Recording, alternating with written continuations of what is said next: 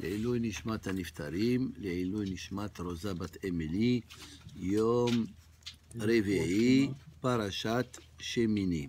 רפואה שלמה, Eric Abekassis Ben, ben Perla. אריק אבקסיס בן פרלה. ולעילוי נשמת סימי נזרי, בת עיישה. אמר רבי חייא, alors la Gemara elle dit, Ra- un, Rabbi Hiya il a dit, Bar Yosef, Hamra, Mazla de Mareh Garim. Alors ce Hacham il dit, son opinion, si par exemple quelqu'un, il a acheté du vin, il a acheté du vin, c'est un grossiste, il a acheté du vin pour vendre le vin 10 ans, ou même pour lui-même, et le vin, il a tourné. Alors, et maintenant, il n'est plus bon. Alors, il peut peut-être le redonner au vendeur, lui dit, écoute, Ton vin est- c'est ton vin, il n'était pas bon, rends-moi mon argent. Amar Rav Yosef, il peut pas faire ça. Hamra, ça veut dire le vin, s'il a mal tourné, mazala de mareh garim. Ça veut dire c'est le mazal de celui qui l'a acheté, il peut pas aller se... Hein? C'est ça, il est malchanceux. Alors, euh, il peut pas aller chez le Baal et lui dire euh, redonne-moi mon argent. Hein Chez Nehemar, comme il y a un pasouk dans Habakkuk, le prophète Habakkuk, il dit, hein, un petit livre parmi les 24 livres de la Torah, je pense que c'est le, plus petit, il s'appelle Habakkuk, et on le lit, tout ce livre, on le lit quand? Le premier jour de Shavuot. Tefillah la Habakkuk al-Navi, al-Shigionot. Hashem shama'ati shim'acha yareti. En tout cas, une belle haftara dans, dans la fête de Shavuot. Alors, chez Nehemar, alors qu'est-ce qu'il a dit là-bas, Habakkuk? Ve'af hayayin boged. Si le vin, il est, il trahit, ça veut dire, euh, il a, il a, il a mal tourné. Gever yahir. C'est parce que l'homme, il est orgueilleux, l'homme il est, il est arrogant, l'homme il est pas bon, alors même son vin il est pas bon. Amarav Mari, Monsieur Ravin Marie il a dit, Haïman de Yahir. Alors maintenant qu'on a parlé de l'orgueil et de l'arrogance, la Gemara elle dit comme ça, Haïman de Yahir, celui qui est orgueilleux, Afilu Ainche de Bete Lomikabel, même les gens de sa famille, ils vont pas pouvoir le supporter. Ça veut dire quelqu'un qui, qui a beaucoup de, euh, d'autorité à la maison. C'est ça l'orgueil. Il a l'autorité, il veut que tout se passe selon sa volonté à lui. Et il veut que ça se passe au moment où il veut que ça se passe, etc. Alors même les gens de sa famille, il va leur monter à la tête. Ils vont plus, ils vont pas accepter, ils vont pas accepter son comportement. Afilu ainche debete, l'homme. Hein, il n'est pas, il va pas être acceptable. Une fois, un rabbin, il a expliqué une des raisons, une des raisons, c'est pas juste cette raison, une des raisons pourquoi Kadosh Baruch il a voulu que l'être humain il se marie, hein, comme ça sa femme et les, membres de sa, de sa maison, ils vont le calmer, hein, parce que parce qu'il y a, il y a pas meilleur que qu'une femme de, de calmer l'homme que, hein, parce que des fois à l'extérieur, il est euh, il est un homme important, il a une grosse compagnie, mais il vient à la maison, calme-toi, tu es, assis-toi, mot. Alors, alors c'est ça l'idée. L'idée, ça veut dire, euh, si les gens de ta maison, ils te disent, alors c'est pour ça que la mitzvah, elle te dit de, se marier, parce que la femme, elle calme l'homme, hein, elle, elle, elle le met en place, hein. Alors c'est ça.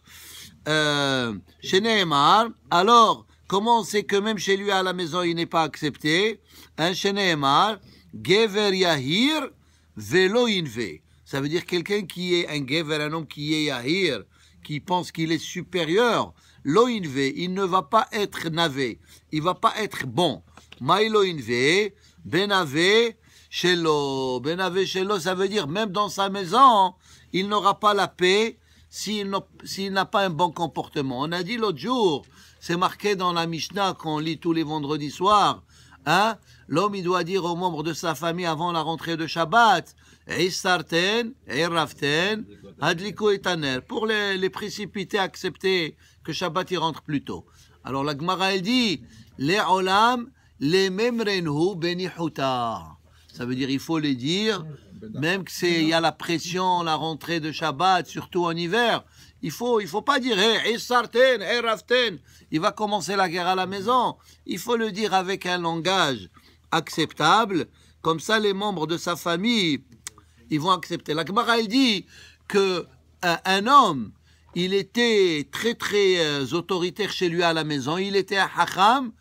Et à un moment donné, la femme, elle a brûlé quelque chose euh, avant Shabbat. Et elle a dû cuisiner Shabbat. Elle a transgressé le Shabbat parce qu'elle savait que son mari, s'il n'a pas la viande dans la dafina, il va faire une guerre euh, mondiale.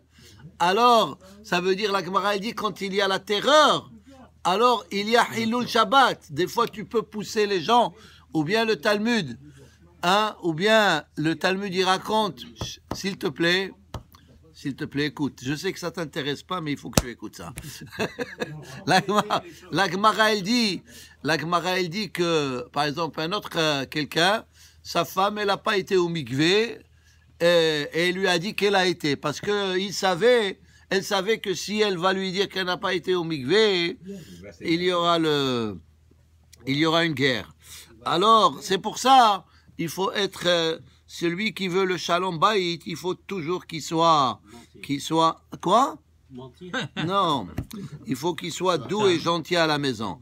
Sinon, les autres, ils vont mentir pour le satisfaire, et même s'ils vont faire contre, les choses contre la Torah. Alors c'est ça. Ça veut dire, il n'y a pas mieux que le tolérant. euh, tolérant et calme à la maison. Et puis, euh, quand tu rentres à la maison, tu enlèves ton autre chapeau du travail où, où tu étais. Amar Rav Yehuda Amar Rav. Rav Yehuda, il a dit au nom de Rav. Kol המתגאה בטלית של תלמידי חכמים ואינו תלמיד חכם.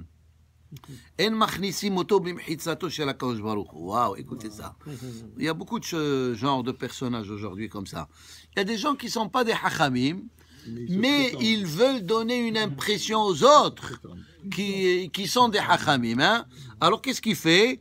Il met talit shel talmidei hachamim. Hein? Il s'habille, il a une barbe, il a un chapeau, etc. Il a un gros ventre. Ça fait partie du rabbinat. Hein? Alors, mais lui, il n'est pas talmid hacham. Et, et les gens, ils vont venir, hein, les gens, ils vont venir, ils vont lui poser des questions. Ils vont, ou bien il y a des fois des gens qui se, qui s'habillent comme des babos, comme des babas. On appelle ça en Israël des babas. C'est comme un, un admor, hein. Ils mettent le, ils mettent le foulard sur la tête comme ça. Et il met, tu sais, comme euh, soi-disant, c'est un grand kabbaliste. Mais il est kabbaliste, vous savez, c'est quoi kabbaliste aussi? Oh, C'est les Kabbal Kesef. Il veut juste l'argent, mais il n'y a pas de, de vrai Kabbalah là-dessus. Hein alors, il faut se méfier de ce genre de personnage. Et ce genre de personnage, alors, l'Ovesh il met l'habit d'un Talmid Hacham. Ça veut dire, l'habit, c'est pas juste l'habit, ça veut dire, il donne une impression comme, il, comme quoi il est un grand Hacham, mais il ne l'est pas. Ça veut dire quand après 120 ans, quand il va aller dans l'autre monde, on va pas le faire entrer dans le réseau restreint de Hakadosh Baruch où est-ce qu'il y a euh, que des tzadikim qui rentrent là-bas. Ktiva chalo inve, ou ktivatam el neve kotshecha. Ok, maintenant la Gemara elle continue. La asot bet hatnut libno. Alors, on a dit, celui qui veut construire une, maison à son, à son fils qui vient de se marier, alors on, a, on a étudié que euh, euh, il, peut, il peut faire ça.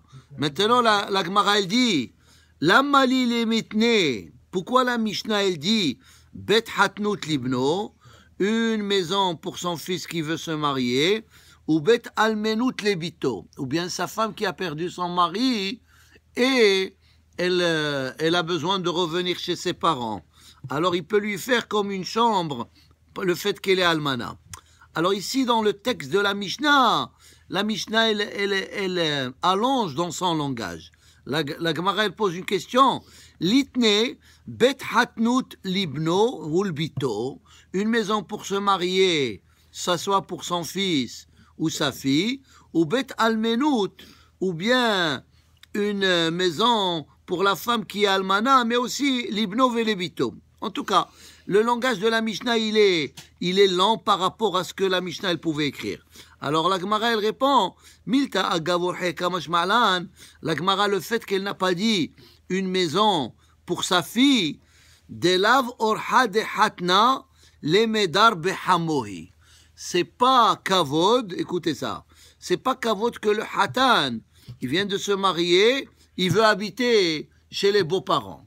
C'est pas kavod. Delav ora hara, c'est le hatna le medar behamohi. Kédictif besefer ben sira, hein, comme il est écrit dans le livre de Ben Sira, Hakol shakalti bekaf muznaim. Hein? J'ai tout pesé avec la balance. Hein? Velo matzati kal, et je n'ai pas trouvé aussi léger que soubin. Vous savez, c'est quoi soubin C'est c'est le, le, le, le, le blé, c'est comme des grains pour qu'on donne au. Le sang. Hein? Le sang, sang, S-O-N. Qu'est-ce qu'on. Oui. Misubin dans Ouais. la Haggadah. Non, non, c'est pas mis non. Soubine. Soubine, c'est des grains qui sont très très légers. Qu'on donne d'ha- d'ha- d'habitude, on donne ça aux, euh, aux, euh, aux, aux animaux. Hein. Alors ils sont très légers, même malgré que leur, euh, ils, sont, ils, ils apparaissent grandes, mais si tu les prends, c'est très léger. Alors il dit, l'omatsatikal, c'est pas laila zekulanu mais soubine. Non, ça c'est soubine. Deux soubines. Vekal mi soubine est plus léger que ces grains. Hatan haddar bebet hamiv. Un hatan qui habite chez ses beaux-parents, c'est pas, c'est pas kavod. Ça veut dire que c'est un homme très très léger. Vekal hatan est plus léger qu'un hatan qui habite chez ses beaux-parents. Oreach machnis oreach. un invité, il amène un autre invité. Hein. Non seulement lui, il est invité, mais il, euh, c'est comme ce- cet homme-là qui a, il y avait quelqu'un, il a invité chez lui trois jours. Après, il lui dit, alors qu'est-ce que tu attends pour partir Il lui dit, j'attends que mon frère arrive. alors c'est ça. Ça veut dire, on dit en hébreu comme ça. Hein? Si un invité, il amène un autre, alors c'est le maître de la maison qui, qui va, qui, qui va s'éloigner. Alors c'est ça. Oreach machnis oreach. Euh, comment, comment ils disent les Libanais? Les Libanais disent que oreach, un invité, c'est comme un poisson. Après trois jours, ils sont, ils sont mauvais. Hein? Hein, hein? Ouais, c'est ça. Alors, euh, ne restez pas chez les gens plus que trois jours. Ok. Vekal, mais et qui est plus léger qu'un oreach, un invité qui amène un autre invité. Mais shif davar, beterem ishma.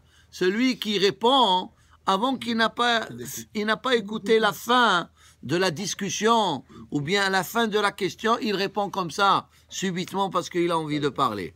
Tu écoutes d'abord tout ce qu'il y a à se dire, hein, parce que des fois, si tu n'écoutes pas tout, tu peux prendre une mauvaise décision hein, par rapport à ta réponse, hein, ou bien par rapport à ta décision. Alors c'est pour ça qu'il faut bien écouter. Chez Nehemar, Meshiv Davar Vegomer, Ivelet Hilo Il a dit, le moi Melech, Meshiv Davar, avant de, que les autres, ils ont fini de parler. Ivelet, c'est une stupidité qu'il fait, ou climat. Climat veut dire, ne veut pas dire le climat. climat, ça veut dire une humiliation. C'est comme boucha ou climat. On appelle ça en hébreu humiliation. Ça veut dire un hacham, c'est marqué dans Perkevot. Quelqu'un qui est pêche, vite, il, il lance, il dit ce qu'il a à dire, il n'a pas écouté ce que l'autre avait à dire. Il faut, il faut prendre le temps d'écouter. Ok, on continue. Hein? On con- alors il dit comme ça le, le Zohar. ויהי ביום השמיני רבי יצחק פתח ברון יחד כוכבי אור ויראו כל בני האלוהים. Alors ce pasuk c'est dans le prophète Iov, il dit comme ça. אשריהם ישראל שהקדוש ברוך הוא נתן להם התורה הקדושה. Heureux le peuple d'Israël que הקדוש ברוך הוא il leur a donné la Torah. La joie de l'univers entier, c'est le fait qu'il y a ce livre qui s'appelle la Bible. La Bible, c'est le livre le plus ancien de l'univers et toutes les nations du monde, ils ont des conseils précieux qui puissent apprendre d'où? De la Bible. Ou.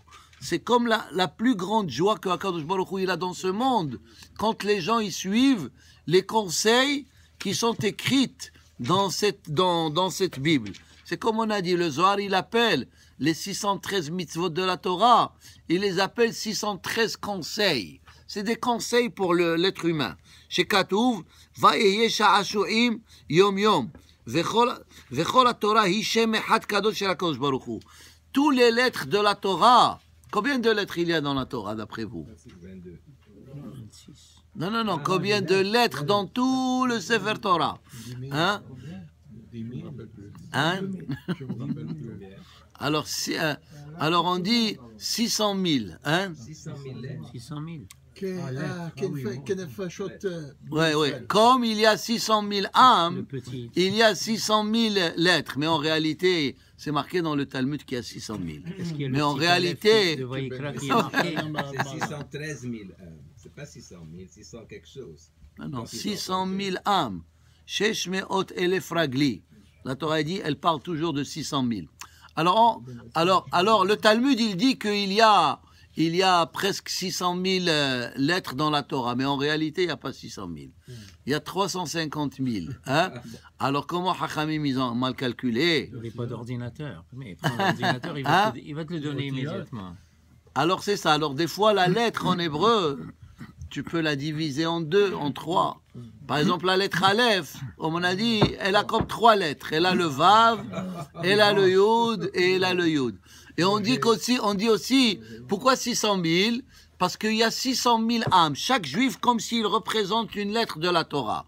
Mais en réalité, est-ce qu'il y a 600 000 euh, juifs? Il y a plus. Alors ça veut dire quoi? Alors ça veut dire tout d'abord l'homme et la femme, ils sont une seule âme. C'est pas deux. Comme on a dit, quand ils sont au ciel, le, le- le couple qui va se marier plus tard, au ciel, ils sont une seule neshama. Ils viennent dans ce monde, ils se séparent en deux.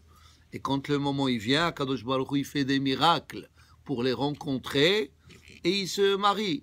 C'est pour ça qu'on appelle le mariage, c'est pas union, mais réunion.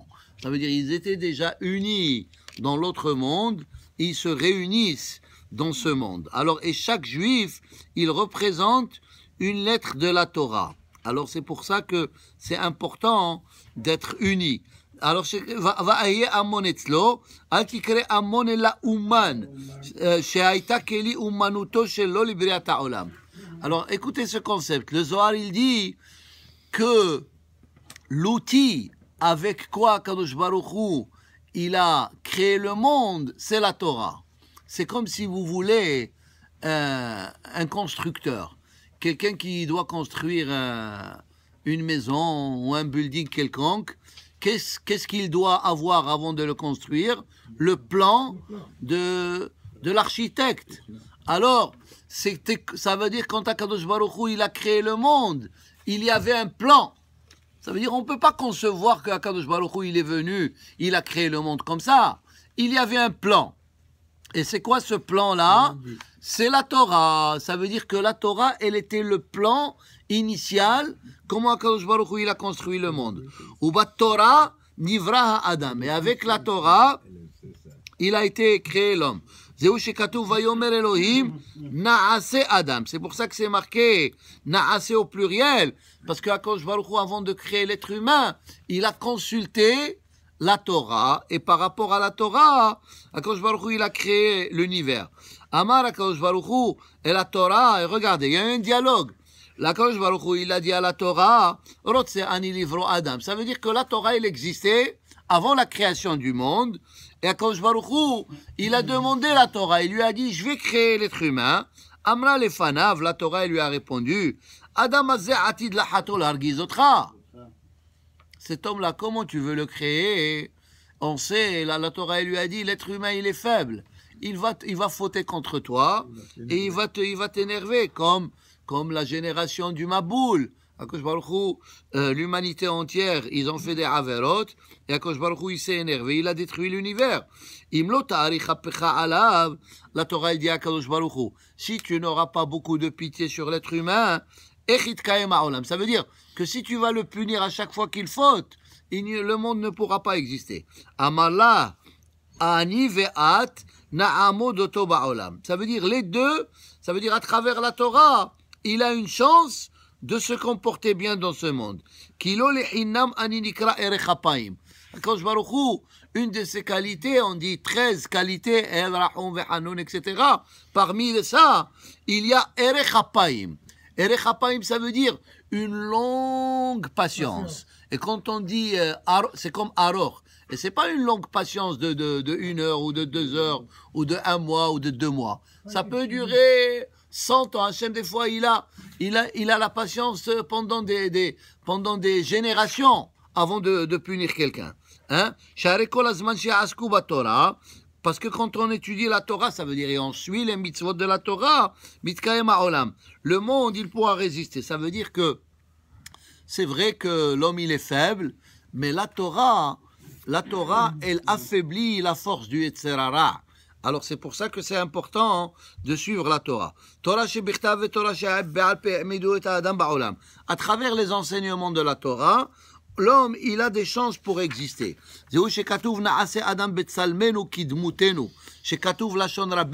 Parce que vous savez, sur ce verset, plusieurs gens, ils disent, ils deviennent apicoros. Ils disent, je te prouve que Hachem, il y avait d'autres dieux. Quelle est la preuve? Quand euh, Hachem, il a créé Adam, c'est marqué Naase Adam. Alors en hébreu, Naase, ça veut dire, nous allons créer l'être humain. Et la question se pose, de qui c'est nous? Il n'y avait que Bereshit bara Elohim. Il n'y avait que Dieu. Alors il y a ceux qui disent, non, le fait que c'est marqué Naase Adam, ça veut dire qu'il y avait d'autres dieux, et Hachem, il voulait pas rentrer en conflit, Shalom, avec les autres dieux, et alors c'est pour ça qu'il les a consultés. Mais Hasve Shalom, c'est pas ça l'explication. Alors le Zohar ici, il explique c'est quoi Naase Adam. Hachem, il a consulté la Torah pour, avant de créer l'être humain, et la Torah, il lui a dit oui, s'il suit le chemin de la Torah, ça va être une bonne création. Mais l'explication simple, pourquoi c'est marqué Naase Adam? Pourquoi c'est marqué Naase Adam au pluriel? Parce que Hachem, dans l'être humain, parce que Hachem, il a consulté les malachim. Parce que l'être humain, il a. C'est quoi le. C'est quoi la chose exceptionnelle que l'être humain il a? C'est que les animaux, ils sont, ils n'ont pas de libre choix. Le, les malachim, ils n'ont pas le libre choix. Alors il dit, je vais créer un être humain, il a comme des tendances de malachim et il a comme des tendances d'animal. C'est ça l'être humain. Il a deux compositions. Il a le corps qui est comme un animal, et il y a le côté neshama qui est spirituel, et on va les mettre dans un ring. Le, le ring, c'est ce monde à Olamazé, et on va donner à la personne de vivre 70, 80, 90 ans, 100 ans, et on va voir à la fin s'il va suivre le chemin de la Torah. Et c'est ça le Inyan. C'est plus facile de, de, faire une Avera que de faire une mitzvah. Pourquoi? Parce que le Yetzerara, il vient à la naissance de la personne. Alors que le Yetzeratov, il vient que 13 ans plus tard. Alors la nature humaine, elle est plus du côté du Yetzerara. Tu sais Ah. que les rois français, quand ils parlaient, comme Louis XV, au lieu de dire moi, roi de France, ils disaient nous, roi de France, toujours. Ah. Ils disaient comme ça. Ils Alors, ça veut dire aussi- C'est une expression. Ça veut dire que c'est une expression de, de, de kavod, de respect. Ça veut dire, comme si tu dis, euh, des fois, par exemple, quelqu'un il parle, quelqu'un qui s'adresse au, au kahal, etc. Il faut pas, il faut pas qu'il qu'il qu'il parle au singulier, hein. Dans le respect, on Alors- dit vous. C'est ça. Alors c'est alors c'est ça. Et même quand tu t'adresses à quelqu'un d'autre, alors c'est ça. C'est un inyan de kavod. Rabbi Yossi Amar זה נשמע אה, את אשר כבר עשו, עשו ודאי, דהיינו לשון רבים. וזהו צלם ודמות, צלם בזכר, דמות בנקבה. Alors il dit נעשה Adam, pourquoi au pluriel Parce qu'il y avait le zachar, le, le mâle et femelle. ועל כן התחלת התורה היא בבית. C'est pour ça que la Torah elle a commencé avec la lettre Bet, Bereshit. Parce que comme on a dit, Bereshit, c'est aussi la Shon Beracha. Avec Bet, ça veut dire Hachem, il a créé, il veut la Beracha dans le monde. Mais Bet, ça veut dire que dans ce monde, il y a le pour et le contre. C'est ça le Bet. Il y a l'homme, il y a la femme. Il y a le Etzeratov, il y a le Etzerara. Il y a le, jour, il y a la nuit. Il y a la Tum'a, il y a la Kedusha. Alors, euh, il y a Shamaim, il y a Aretz. Ça veut dire deux bêtes. Ça veut dire que ce monde-là, il a toujours les deux côtés, les deux côtés de, de, de, la médaille. C'est comme euh, le parti au pouvoir et l'opposition. Alors, c'est ça la lettre bête. Hein? Et aussi Olamazé et Olamaba. Ça veut dire que la Torah, elle te dit, si tu crois dans Olamaba, ce livre, il est pour toi. Ça veut dire, dès que tu ouvres Bereshit, pourquoi ça commence avec bête? Pour te dire que si ce, cette Torah, elle est donnée à, celui, à ceux qui croient qu'il y a deux mondes. Si tu crois qu'il y a uniquement Olamazé, et après ça, il n'y a plus rien, tu devrais fermer ce livre. Ce livre, il n'est pas pour toi. Ce livre, la Torah, elle commence avec la lettre bête. Ça veut dire, ce livre, il est pour ceux qui croient qu'il y a deux mondes. Ça veut dire, après ce monde, il y a un autre monde. D'ailleurs, vous savez, il y a les 13 euh, Ikare Emouna que Harambam, il a écrit dans, quand, dans certains sites d'Urim. Il y a la Hare Anima Amin, etc. Il y a d'autres rabbins qui résument tous ces 13 articles de la foi juive en trois, en trois, en, trois émonotes. On n'a pas besoin de dire 13. Dans ces trois émonotes, il y a tout. Quels sont? Ça, c'est Rabbi Yosef Albo, qui, est, qui a écrit un livre qui s'appelle Sefer Ikarim, il y a plus de 500 ans. Un livre très important. Alors, il dit, on n'a pas besoin de ce que Harambam dit, 13 articles. Il dit, il y a trois, et dans, dans ces trois émonotes, il y a tous les 13. Alors, tout d'abord, il dit, ça veut dire la première, on est ma'amin que c'est Akadosh Baruch Hu qui a créé le monde. Hein? Akadosh Baruch Hu, c'est le maître de l'univers. Ça, c'est la Emouna la plus solide. La deuxième Emouna aussi, c'est Ma'amad Har Sinai. Hu, il a donné la Torah Har Sinai, etc. Et la troisième Emouna, elle est qu'il y a, après ce monde, il y a un autre monde, et dans cet autre monde, il y a Sachar ve'onesh. Dans cet autre monde, il y a récompense et punition par rapport à notre comportement.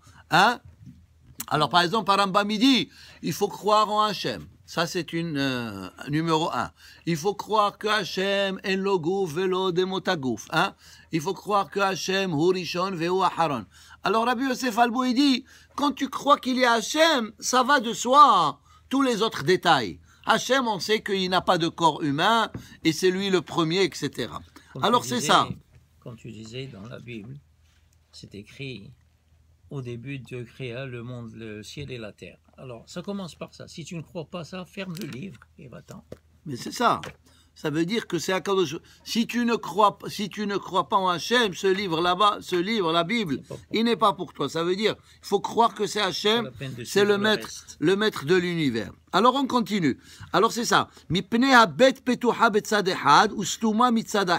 Alors il dit, si vous regardez la manière comment on écrit bête, elle est où Elle est ouverte du côté gauche si vous voulez, et elle est fermée du côté droit. Et là, בשעה שהאדם בא להתחבר בתורה, si l'homme il veut s'attacher à la Torah, הרי היא פתוחה לקבלו. Il y a ce côté qui est ouvert. Ça veut dire comme si la Torah, elle te dit, tu veux suivre mes conseils, Baruch haba, viens, rentre. C'est pour ça qu'il y a un côté ouvert. להשתתף עמו. ובשעה שאדם סוגר את עיניו ממנה והולך לדרך אחר, et si l'homme il ferme ses yeux, il prend un mauvais chemin, הרי היא סתומה מהצד האחר. כמו שאתה אומר, אם יום תעזבני יומיים אעזבך. Il y a un proverbe qui dit comme ça. La Torah, elle te dit, si tu me délaisses un jour, je vais te délaisser deux jours. Pourquoi Alors regardez. Admettons, la Torah, elle est ici. Ça, c'est la Torah, elle est au milieu. Si toi, tu t'éloignes de la Torah un jour, elle, elle va s'éloigner de toi aussi un jour. Ça veut dire que l'espace entre vous deux, il devient de deux jours. C'est ça. Im ta'azveni yomam. Im ta'azveni yom, si tu me laisses un jour, alors moi aussi, je vais te laisser un jour. Et la, et, et la distance, elle va être à un moment donné de deux jours. Im- ta'azveni yom, yomaim azveka. Ça veut dire que l'homme, s'il ne s'encourage pas lui-même dans le spirituel, il va, il pourra se dégrader rapidement. Hein? Ah, il dit ah c'est pas la peine de venir, il va plus venir à la, synagogue le matin, Ah, il vient juste le soir. Après il va dire ok le soir aussi c'est pas nécessaire. Ça veut dire im ta'azveni, si tu vas être dans le chemin où tu vas t'éloigner dans la Torah, alors euh, une chose elle va, elle va pousser une autre.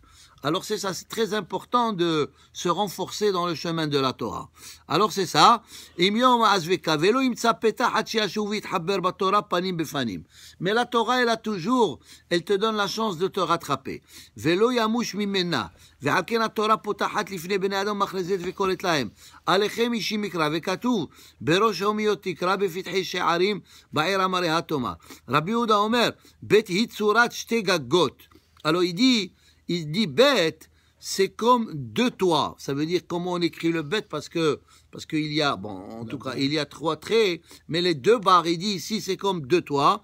Et had mehabberam, il y a un toit au milieu qui les qui les rattache les deux. Mazotomeret, et là had la shamaim ve had la ares. Ça veut dire le ciel et la terre. Ve akadosh baruch hu ohez bahem umkabel otam. Ça veut dire qu'Oshbaruchou, c'est lui qui retient le ciel et la terre. Ça veut dire le monde entier. Il retient grâce à qui?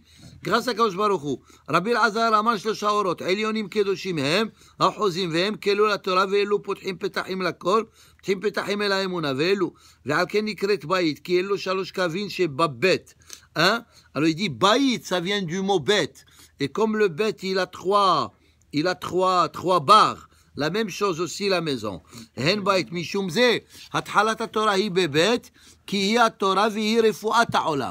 La Torah, c'est la, c'est la solution de tous les problèmes qui arrivent dans ce monde. Si on veut trouver la bonne solution, il faut voir la Torah. Celui qui étudie la Torah, comme s'il étudie le nom de Hakadosh Baruch Hu. C'est comme on a dit, chaque lettre de la Torah, c'est elle représente une neshama de Am Israël, et chaque lettre, elle représente une partie de la couronne de Hakadosh Baruch. Ça veut dire que toutes les lettres de la Torah qu'on a étudiées aujourd'hui, toutes ces lettres, ils montent au ciel, en tout cas on espère, et qu'est-ce qu'ils font à Hakadosh Baruch Ils lui font une belle couronne. Et, et qu'est-ce qui a marqué dans cette couronne? C'est marqué qu'un groupe de Talmidim de la synagogue spanish portugaise, ils ont étudié ce jour-là tel et tel texte, et la neshama, hein, de ce, de, la personne à qui on a étudié les Illo Nishmat, Rosa Bat Emeli, elle dit à Kadosh Baruch Hu, voici, je t'offre une couronne que, que l'étude de la Torah en fait dans ce monde à ma mémoire, et Akadosh Baruchou, il est, il est satisfait spirituellement parlant. Alors c'est ça, les, les, lettres de la Torah, c'est des couronnes. Torah Kula Hishem Kadosh Elyon Ehad. Umishum Ze Shem Kadosh, Potahat Bebet Shehi, Kelal Hashem Akadosh. Shehem Shlosha Kesharim, Hamashpeim Ala Emuna. Ça veut dire, il dit que le, le spirituel, il est divisé en trois parties. On peut expliquer ça de différentes manières. Ça veut dire que dans le monde, il y a Israël, il y a Kucha Berichu, qui est Kadosh Baruchu, il y a Oraita, qui est la Torah. Ça veut dire que ces trois éléments, ils vont ensemble. C'est pour ça qu'il y a, la Torah, elle commence avec bête, parce que le bête représente le spirituel et le matériel. Eh, Torah, ça veut dire quand on étudie la Torah, comme si on est attaché à Kadosh Baruchou. Va ahuvim le ma'la, et on est aimé devant Kadosh Baruchou dans le monde en haut, ou le mata. Kadosh Baruchou moshit et yemino. Kadosh Baruchou, il étend sa main droite, ou sa main droite, ou mikol sheken otam she'askim batora gam balayla. Et surtout ceux qui prennent l'effort, ils se réveillent la nuit, ou bien avant de dormir, ils étudient ils étudient la Torah. La Gemara, elle pose une question quelque part. Et, il dit comme ça. Il y a un passage qui dit Lo ibre laila leshinta. La nuit, elle est faite pour dormir. Et un autre passage, il dit Lo ibre laila les girsa. La nuit, elle est faite pour étudier. Alors la Gemara, elle dit comment on peut concilier ces deux, ces deux enseignements, la Gemara, elle dit, ça dépend, si c'est en hiver ou en été. Si c'est en été, la journée elle est mm. longue et la nuit elle est courte, alors tu dors la nuit. Hein? Parce que, mais, en, mais en hiver, la nuit rentre à 4 heures. Tu peux dormir de 4 heures. Euh, alors ça veut dire aussi la nuit en hiver, il faut étudier un peu de Torah. Ça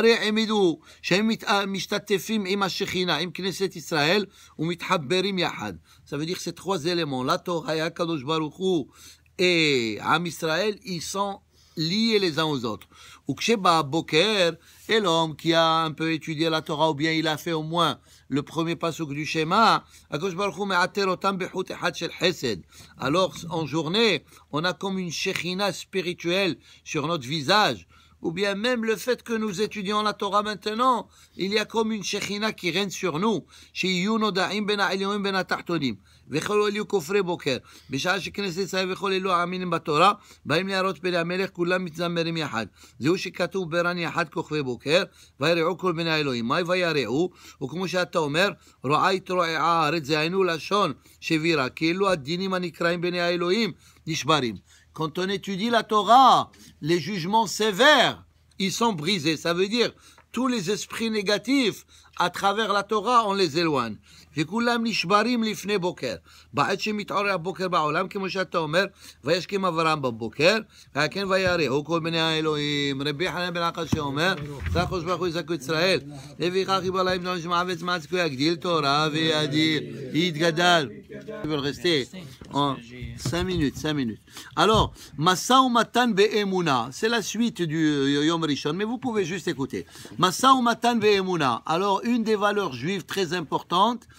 être un homme honnête et sincère. D'ailleurs, c'est une des premières questions qu'on pose à la personne après 120 ans. Nasata venatata be'emuna. Hein, est-ce que tu étais, quand tu faisais tes transactions financières, quand tu étais le, business, dans ce que tu faisais, est-ce que tu étais oh, oh, un homme honnête et sincère? Hein, euh, c'est ça, c'est ça la première question. Le gars, il peut mettre les tefilines, il peut mettre deux tefilines par jour, il peut mettre cinq tefilines par jour, il peut faire, euh, il, il peut étudier, il peut faire, euh, il peut faire beaucoup de mitzvot. Mais la première question dit est-ce que tu étais un homme? Honnête et sincère. Alors ça veut dire que ça, hein, c'est beaucoup plus important des fois que le rituel. Ok? Ensuite, tzedaka, ça veut dire la, la tzedaka, penser aux autres qui sont, qui sont dans, dans, le, dans la pauvreté. D'ailleurs, maintenant, on est à la période de Pessah, comme on a dit, il y a le inyan de Kimhad et Pisha. Il y a des familles qui sont dans le besoin, il faut les aider. Alors c'est ça le inyan de, de, de la tzedaka.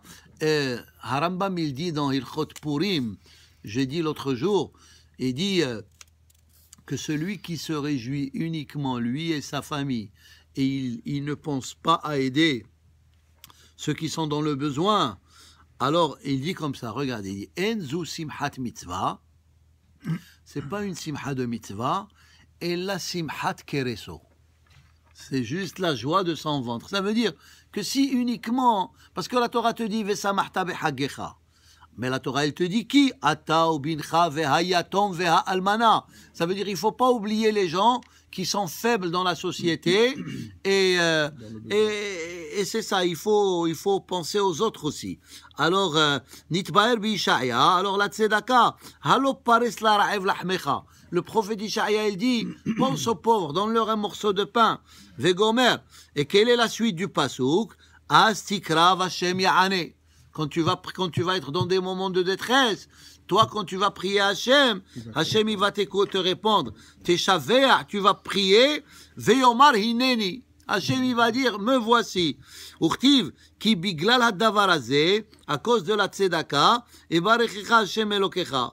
Urtiv, alors ça veut dire tu recevoir. Des fois tu penses, ah, je donne de l'argent à la tzedaka, alors je, je n'aurai plus cet argent. Non, Hachem il va te donner la beracha et tu auras plus.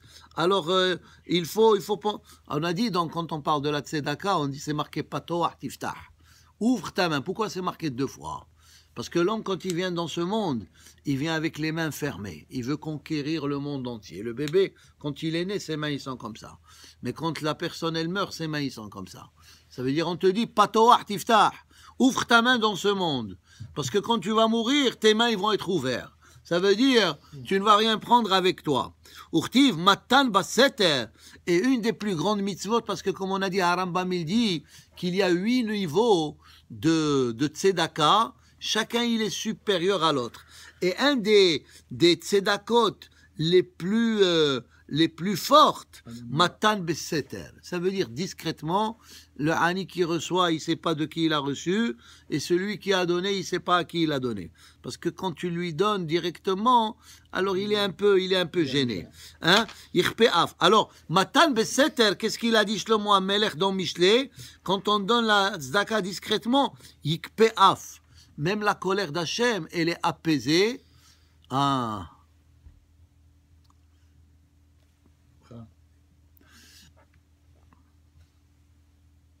Alors, euh, on est épargné, on est épargné des mauvaises choses. Urtiv, vetzitkato omedet la'ad. La tzedaka que tu fais, elle reste pour l'éternité. Ve'en avera mechabba ota mitzvot. Ça veut dire, des fois, tu fais une mitzvah, mais après, tu fais une avera. La avera que tu as fait, elle a éteint la mitzvah, comme si elle n'a jamais existé. Mais si cette mitzvah, c'est la, la tzedaka, même si tu as fait une avera, la avera, elle n'atteint pas la tzedaka. Pourquoi? Parce que la tzedaka, tu as fait profiter quelqu'un.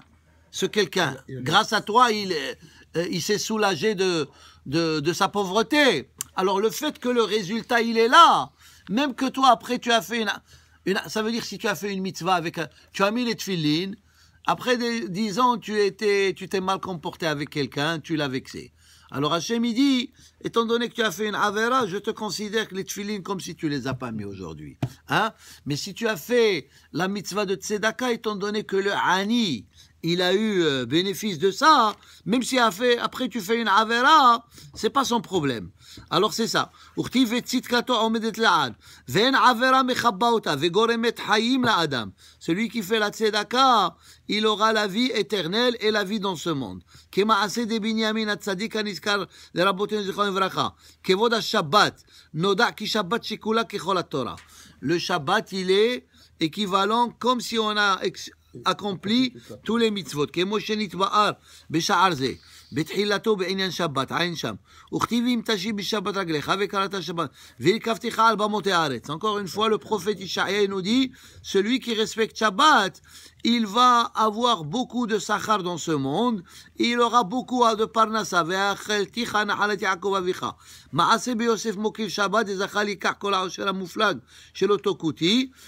On raconte plusieurs histoires dans le Talmud des gens qui se sont enrichis parce qu'ils faisaient caveau de Shabbat.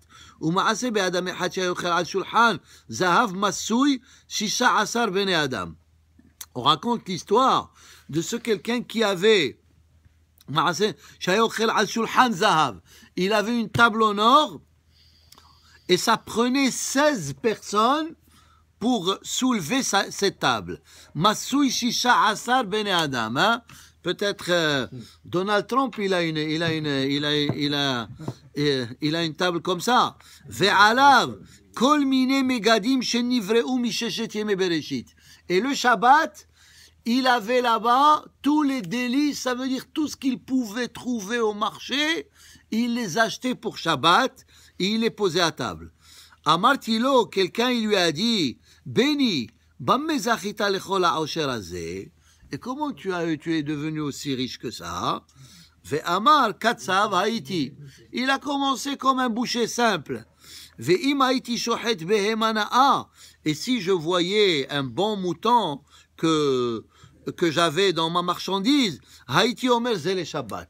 Ça veut dire, ça c'est pour moi, je vais le garder le Shabbat. Ve'amru abotenu zichronam livracha. D'habitude, c'est le contraire. Quelqu'un qui est dans un business, pour lui, on dit, il y a un proverbe qui dit que le, le cordonnier, le mal, chaussé. ça veut dire tu penses à toi en dernier, parce que d'abord tu veux gagner de l'argent, tu veux faire ta parnassa. Mais lui, c'était le contraire. La meilleure pour le Shabbat. Hein? Ça veut dire pourquoi les Ashirim en dehors d'Eretz Israël, ils ont eu le mérite de devenir riches. Ça veut dire, on a dit que tous les dépenses que l'être humain y dépense, parce que Hachem il donne à chacun un budget pour l'année.